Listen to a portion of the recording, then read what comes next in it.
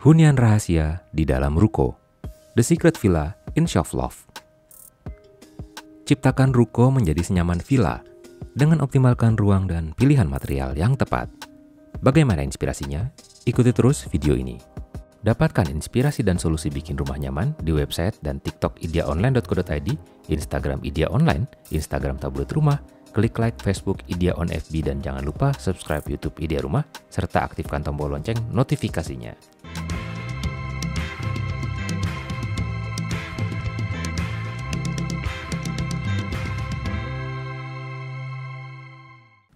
Hunian terang dan sejuk menjadi tempat tinggal tersembunyi di dalam bangunan ruko yang sudah berdiri lebih dari 20 tahun ini. The Secret Villa in Love. Begitulah hunian ini diberi nama. Sesuai namanya, Love, hunian ini berada di sebuah bangunan yang memiliki dua fungsi, yaitu sebagai rumah dan tempat usaha atau toko.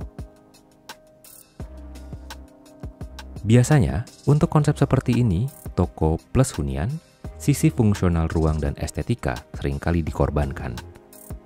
Tak ingin hal ini terjadi, pemilik hunian menggandeng desainer interior, Dwelling Pulse Studio. Pemilik rumah menginginkan dapat merasakan seolah-olah tinggal di villa dan mendapatkan apa saja yang dibutuhkan untuk hidup nyaman, meski tinggal di dalam sebuah ruko.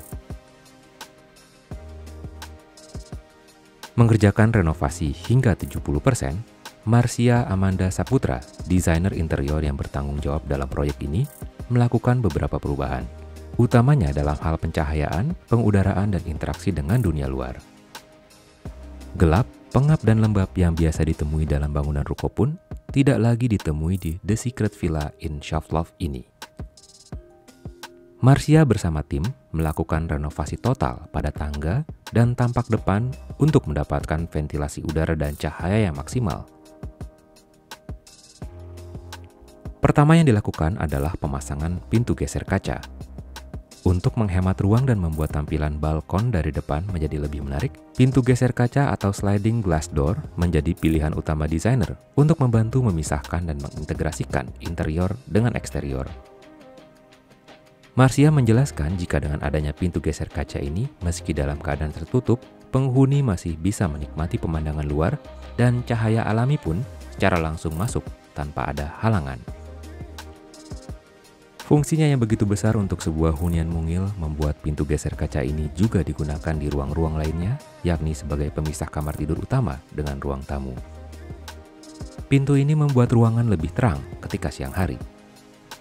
Hal kedua yang dilakukan desainer ini adalah pemasangan kanopi kaca di bagian atap ruko. Adanya kanopi kaca ini mempengaruhi area tangga dan sekitarnya, sehingga area tersebut tidak memerlukan lagi energi listrik. Bagaimanapun desainnya, aliran udara dan cahaya yang cukup adalah faktor yang paling penting.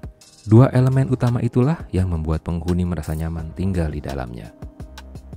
Ada beberapa inspirasi menarik dari hunian ini, namun sebelum kami lanjutkan jangan lupa untuk support Idea dengan klik like, komen, dan subscribe. Sekarang kita lihat lagi beberapa inspirasinya. Hunian ini tidak terlalu mementingkan pernik untuk mempercantik ruang. Satu buah lukisan dinding sudah cukup untuk menghias rumah.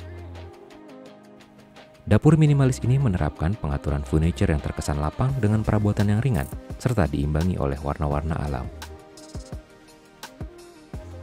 Jendela yang memanjang ini seolah-olah bertindak sebagai sebuah layar yang memberikan pemilik rumah kesempatan untuk memandangi suasana luar dari kamar tidur. Pintu geser kaca yang memisahkan kamar dengan balkon membuat penghuni rumah dapat menikmati suasana luar langsung dari kamar tidurnya. Meski berada di lantai tiga dari sebuah bangunan ruko, rumah ini tampak begitu terang sejak dari tangga masuknya. Penggunaan furniture lipat memungkinkan pemilik rumah dapat memanfaatkan setiap sudut ruang. Mengikuti kondisi hunian yang menyatu dengan ruang usaha di bawahnya, desainer interior menambahkan lagi rak penyimpanan terbuka untuk mengakomodasi kebutuhan pemilik rumah. Demikian cerita inspiratif Idea kali ini. Semoga bisa menginspirasi Anda. Simak juga house tour, room tour, dan cerita menarik Idea lainnya. Jangan lupa untuk subscribe, like, komen, dan follow YouTube, Facebook, dan Instagram Idea. Terima kasih telah menonton. Salam berbagi idea.